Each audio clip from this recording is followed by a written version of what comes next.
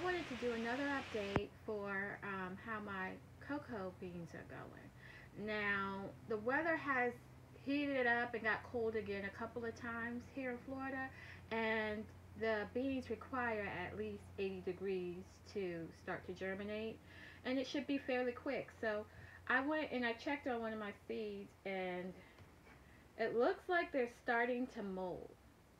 I really don't appreciate the fact that it's starting to mold. But on the other, on the flip side or on the good side, that root's still there. And as I press it, it's not soggy, so it's not dead. So basically what I decided that I'm going to do, well, decided to do was I went to the, um, the store and bought a heating mat. So what I'm going to do with the heating mat is put it in there with the seeds and um, afford to heat up this whole patio. I just want to heat my seeds up and get them a good start. So I'm going to see how this goes. Um, I also had some more seeds. Here's the tripped out thing, and no disrespect to Miami seed, Miami, what's it called? Uh, Miami fruit, where I bought the fruit from the in the first place. I paid like $89 for a basket of fruit, but what I really wanted was the cacao, and the other fruit was just kind of a bonus.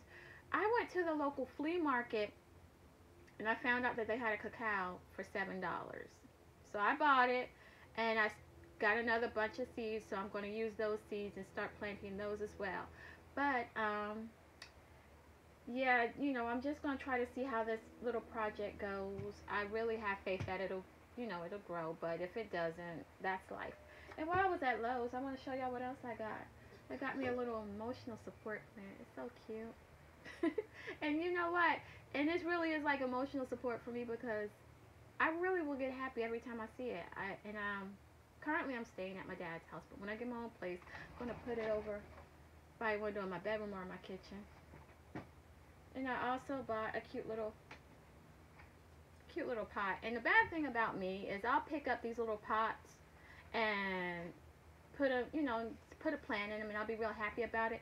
But I'll have a little envy for those people who can decorate a whole patio with um, with pots because they planned it out and had different varieties of pots or not variety, but a set, a theme. I never have a theme and then I end up regretting it in the end, but this was cute. I wasn't to let it go.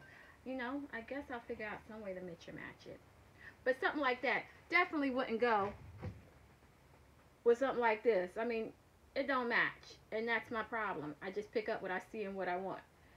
Alright guys, well thank you for watching me. Subscribe, ask questions, give me suggestions if you have them. Take it easy.